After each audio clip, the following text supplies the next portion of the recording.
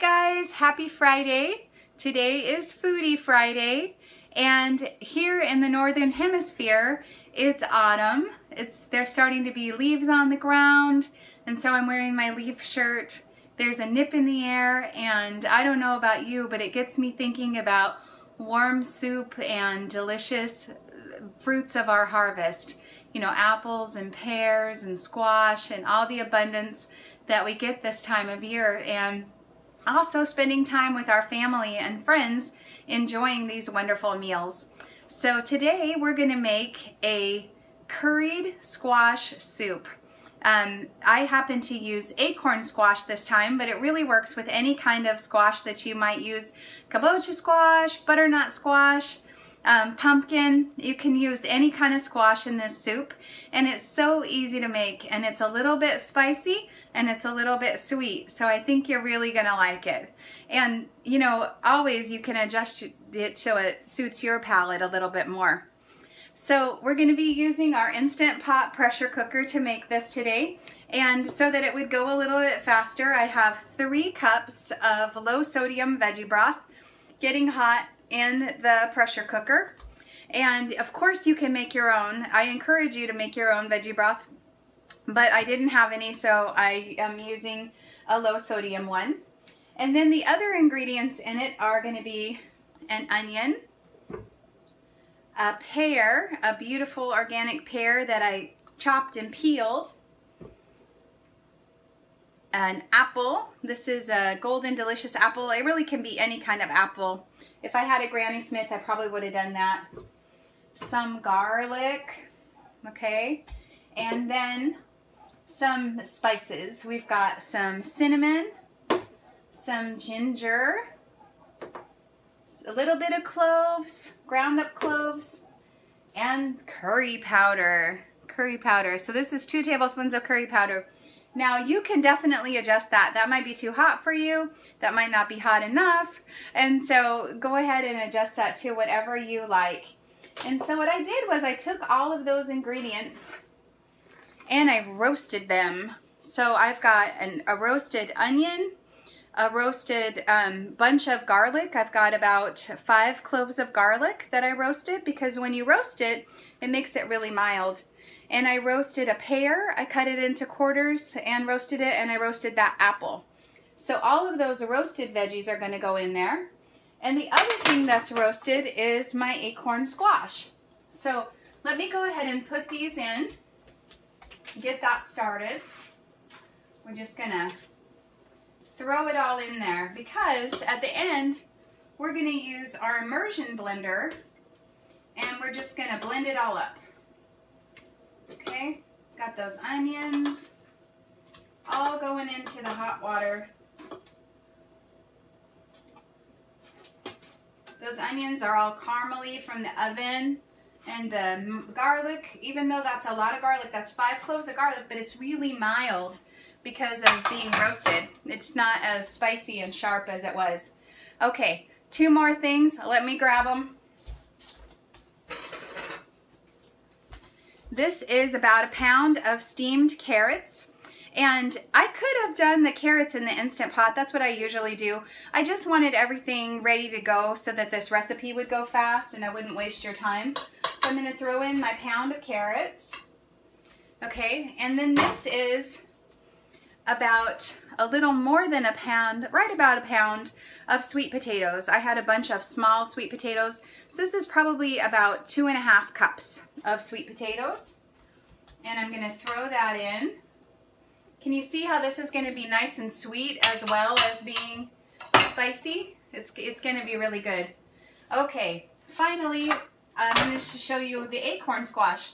Now these acorn squash were orange and they looked like this before I um, before I roasted. You know, this is a roast. These are roasted, and then I peeled the ones on the bottom. But I wanted to show you how easy they are to peel. What you do is you cook them, and then you cool them, and the cooling makes the skin come away from the edge so you can peel it just like you peel an orange. See how easily that's peeling away? I just peel it right off just like it's an orange peel. Okay, and that brown, that's not like spoilage, that's where it got roasted and it's caramelized. That's, um, so you, you want that. You definitely want that. Okay, and you want to hmm, snitch some of this because it's really good. I don't know if you've tried acorn squash. Some people shy away from it because it's really hard to cut. As I as I get this peeled, I'm just going to throw it on in. There's nothing fancy about this recipe. You just peel and throw, okay? So what I did was I had two acorn squashes and I put the whole thing in the oven without, see how easily that's peeling? That peeled so easily. It's just like super easy and it comes out in one big chunk. You can still see the lines like on a pumpkin. Okay, so I put them in the oven whole. I didn't cut them in half, two uh, acorn squashes. And then I waited until they were cooked at 400 for about a half an hour. And then I took them out of the oven and let them cool. And then I cut them in half. I just let them cool long enough to, um, so that wouldn't hurt my hand, you know, when I was cutting them in half. And then I put them back, I put them with the cut side down on the um, baking pan with a Silpat. I always use a, a silicone mat like I told you the other day so it doesn't stick and just kind of keeps the mess down. And I cooked them for another 30 minutes or so. So about an hour at 400. And that's what I did with the veggies and the um, and the pear and apple and garlic. Um, the onion, the, uh, the garlic, the apple, and the pear. I just cut them up Put them in the oven at 400 for about an hour so they were all roasted. Okay, so now it's all in there and what I'm, I'm just going to bring it up to pressure like it barely even needs it. Um, I'm probably going to put it on three minutes. Here we go again, guys. Okay.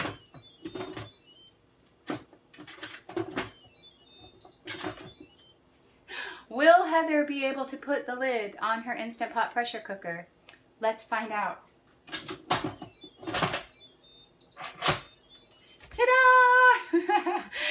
For all your tips, guys. A lot of you guys told me that I was starting over here and I was supposed to be starting at like right there and that's why it wasn't working. Okay, so I'm taking it off saute because I had it on saute to make it be, um, to get it hot.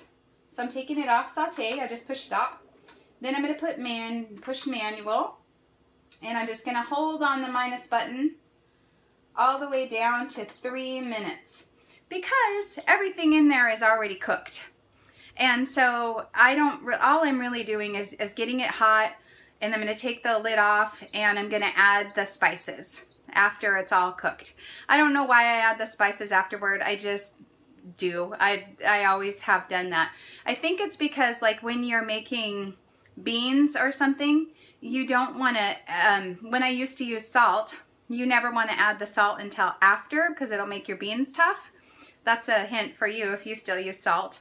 Um, but what I love about this recipe is it doesn't have any sugar, it doesn't have any oil, and it's going to come out nice and creamy and delicious. Um, and it only has a tiny bit of salt from that low sodium veggie broth. So I'm going to rinse my hands really quick. Hang on.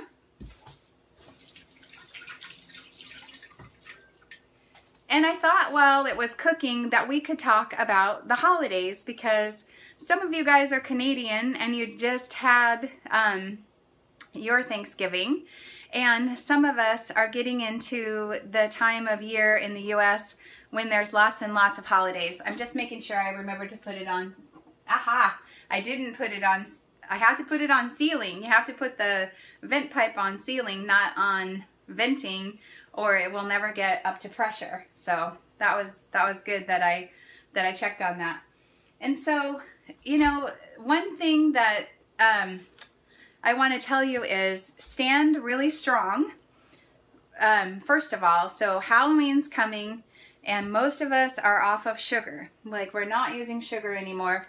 And Halloween is a really hard holiday for all of us because people's desks have candy on them and there's candy in all the stores and a lot of us feel like we have to get candy to give out to the kids that come in our neighborhood. Um, so I don't give out candy to the kids that come anymore. What I do is um, I give out little toys um, and things like that, like uh, little fun erasers or um, rubber balls. We have like these big, um, kind of big rubber balls that you can get a gross for really cheap. And kids love those. And they kind of, they're already getting candy at everybody's house. So it's kind of fun for them to get something different. Um, so that way it does two things. I don't want to give out candy because I don't really believe in it. You know, I, I don't think it's really good for anyone, not even kids. And the other thing is, I don't want it in my house, you know. Chef AJ says if something's in your house, it's in your mouth. And even if that's not true for you, if you have really good willpower, why put yourself through that or why take a chance that you might end up eating it? You know, we've all heard stories about people that just ate like one fun size Snicker bar and they ended up going off their diet and they had a really hard time getting back on. And, and I had that last year um, where I had a slip and, and ate some things and that I shouldn't have. And before it was over, I had gained 60 pounds back. You know, luckily, by the grace of God, I've taken them off again. But what if I couldn't have, you know? So I think it's just better not to have it in your house if you can possibly avoid it. I know some people live with other people and they can't, they can't, they feel like they can't avoid it or whatever. But, um, that is something that you could maybe try is give out something different um, or give out Larabars or give out, you know, homemade treats. A lot of people won't let their kids have homemade treats or we could do that, right? Um, or have a party and, and just have your own treats and stay away from um, all of the sugar that's out there. That's the scariest part of Halloween for me. Um, it's definitely scary for my, for my plan. And then, so then that kind of brings us to Thanksgiving. For a lot of us, Thanksgiving can be hard because the holidays have this expectation that you're supposed to be so happy and you're with your family and we're so thankful and everything.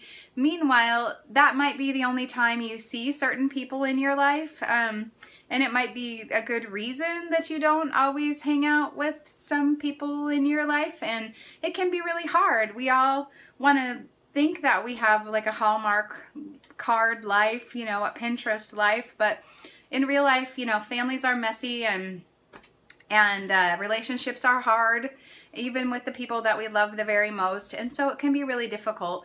And so one of the things that can make it a little bit easy for you, easier for you, if you do eat say you eat a plant-based diet like I do and you're going to be spending the holidays with people who don't eat a plant-based diet. That can be difficult. Well, the first thing I want to say is bring your own food and bring some to share. And don't be like, um, this is vegan. I hope you like it. You know, um, just make something that's delicious that anybody would like. Um, it's easy to start with foods that are holiday foods that are already vegan, like cranberry sauce or um, green bean casserole or a salad. Um, you got to watch it with the green bean casserole. You have to make it no dairy because sometimes they'll have that like cream of mushroom in it or something. But there are some things that you could bring that are already a plant-based um, item. You could make a pie or something like that. If, you know, you could make a no sugar pie and not say anything. You could make my cobbler or um, a pumpkin mousse or something and nobody would even know that it's sweetened with dates unless you told them. So that's one thing is don't make a big deal about it. Um, Dr. Lisle says that when people ask you, you know, why are you eating like this? You just say, oh, it's just an experiment. It just seems to be working for me. Um, if, if there are people that you're not going to see very often and you don't really care, um, if they know, you know, they wouldn't understand even if you did tell them all the reasons that you are plant-based, then probably you're just going to drive yourself crazy if you try to convince somebody to be plant-based who's not at all interested, right? Am I right? So you I think that's a good I think that's a good solution for somebody like that. If there is someone who's like, "You look great. You look like you've lost a ton of weight. I know that you said you're feeling better." Um, you look like a new person. What are you doing? I'm sick. I'm miserable. I'm looking for answers. If they seem like they're really receptive, then that's the time that you would want to go ahead and tell them, hey, yeah, I've been on this plant based diet and I've taken off a lot of weight and I've reversed these health conditions. And have you seen the movie Forks Over Knives? Have you seen the movie What the Health? You know, um, you might want to watch Cowspiracy. You might want to watch, you know, give them some great documentaries or recommend some books. How Not to Die by Dr. Greger is one of my favorite ones because he, he writes in such a funny and approachable way. So that's the kind of person that you want to that you want to go into it with. Otherwise, you'll just be like, "Oh yeah, you know, I'm trying a thing. It seems to be working for me. I'm I'm to try it. You know, I'm just to I'm trying not to put in too much pounds over the holidays, so I'm trying a thing right now." Um but just go along. It's not the time. You don't want to get into a huge debate about the ethics and everything at the dinner table. It's just going to make it unpleasant, and you're probably not going to change anybody's mind, you know, while they have a mouthful of turkey. It just probably isn't going to happen. And of course, you have to follow your heart on that, but um, I just don't think it's that effective, is what I'm saying. I don't think that it would be that effective to try to do that then.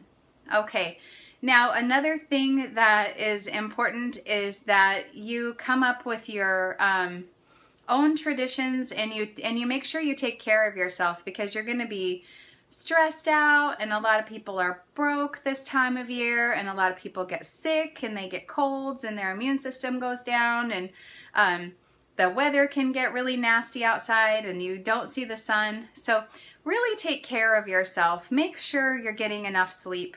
Make sure you're getting nutritious food. Make sure that you're not you know staying out and going to all the parties and just trying to cram it all in. We have to go to every single holiday event.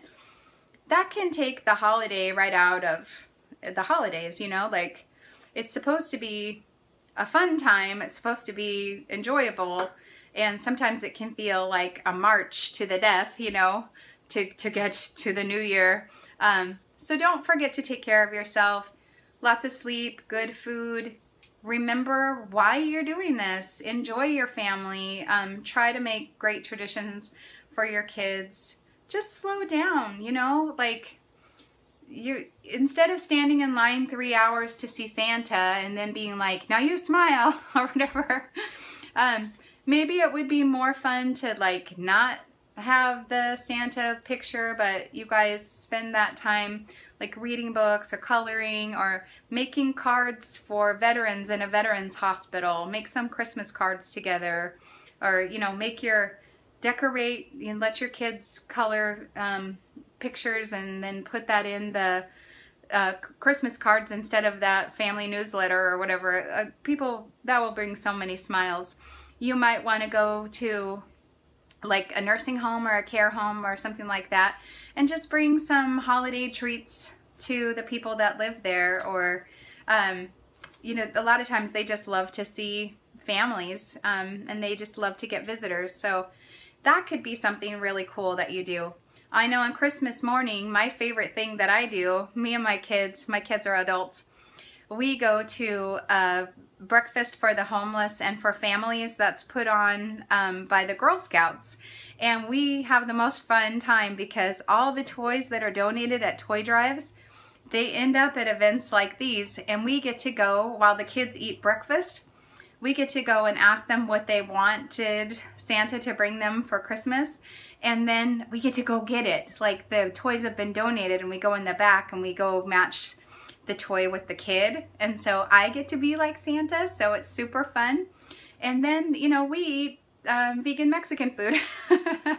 That's our tradition. We do the, we go to the Christmas breakfast. We don't eat the breakfast because it's like an egg and bacon type of breakfast, but that's not why we're there. We go for the fun and then we have our special meal afterward. So I guess what I'm saying is just make your own way and make it make it work for you let me just check on the soup and, and see how we're doing. I think we're just going to skip to the end. It's taking a long time, but basically you would do the pressure cooker. I'm going to go ahead and turn it off and see if it'll open. Yeah, it'll open still. So you would do it for, it's all, it was almost there. You would do it for three minutes. So let's just pretend like I did, okay? You are pretending that we did it for three minutes. Okay, I'm gonna add the spices and then we're gonna blend it up and see what you guys think. Okay, so it's super easy. You wanna do just a teaspoon of the cinnamon. So I'm gonna do a teaspoon of cinnamon. There we go. Got a little extra in there, but that's just fine. Teaspoon of ginger. It's so sweet and yummy, it almost comes out like a dessert. Teaspoon of ginger. Just a sprinkle of cloves. Just a little bit. Sprinkle, sprinkle, okay. And then this is that curry powder. Just use your own favorite curry powder. Um, I got this one at, a, at an Indian shop that we have here. And I like it because it's not super hot. I am kind of a wimp. I like a little bit spicy, but I don't like it crazy spicy. Okay, so I'm going to put it in there. All right. Now, everything is still all chunky because it didn't, um, it's all cooked and it's boiling away nicely. Okay, let me take you over to see it. Come with me, come and see. Here we go. So that's what it looks like. It just has the spices and everything's all chunky in there. Okay, so now I'm going to use, we're using two of our fun toys today because we get to use the immersion blender.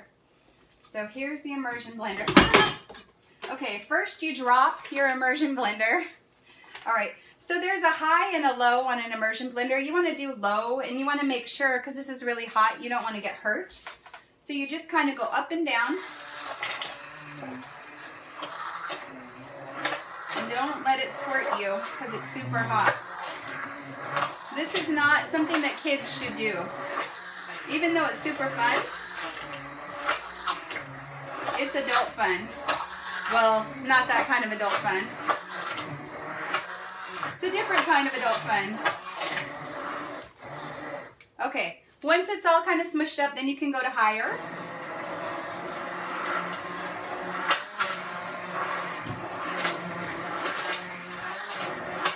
It's turning a beautiful orange color.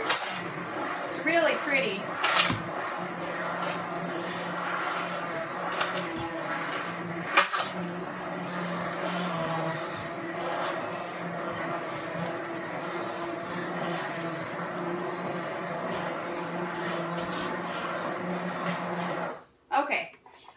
For a lot longer, but I want to show you what it looks like. And I also wanted to show you some ways that you might want to present it. So I have um, this bowl that was my mother's.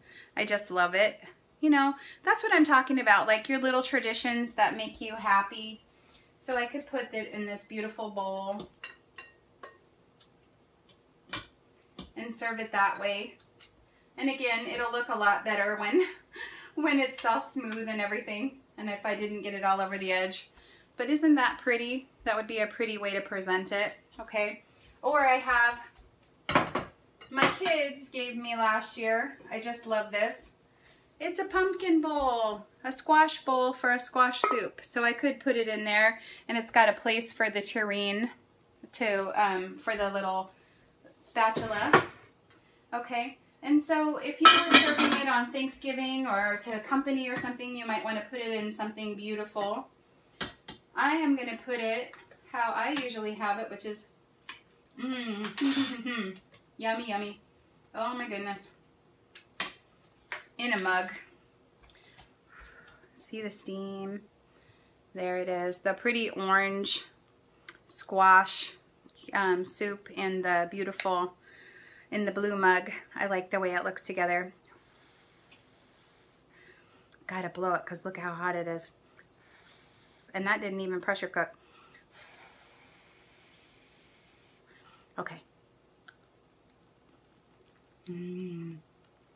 It's really yummy. I think I could even make it almost a tiny bit spicier, like a tiny bit more curry powder, but you want to go easy. Like start with just a small amount of curry powder and then get get more adventurous after you know that you like it because you can always put more in, but you can't take it out and you don't want to ruin it. Mm. Okay. So if it's too thick, you can always add like a plant milk. That um that's really good. I know a lot of people like it creamy like that. If it's um too thin, then you just know that you use less liquid next time. Mm.